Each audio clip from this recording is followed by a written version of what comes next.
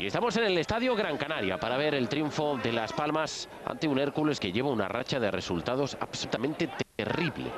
Sí, que se está complicando bastante ese acceso a zona de playoff en la cual está, pero está cayendo y ve como el Almería le acecha. Este es uno de los goles de la jornada. Formidable gol de Sergio Suárez. Fíjense, lo van a ver en la repetición, cómo engancha la pelota el jugador del equipo canario. Es un extraordinario.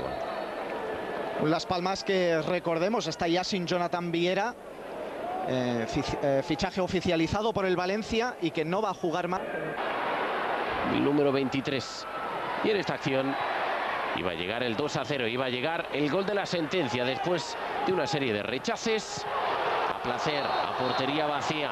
El gran Javi Guerrero marcaba el 2 a 0 en el minuto 87. Sentenciaba el duelo el equipo de Juan Manuel. Pedían manos los jugadores del Hércules, pero finalmente el árbitro concedió el gol de Javi Guerrero. Ahí viene el más 2, Hércules 0.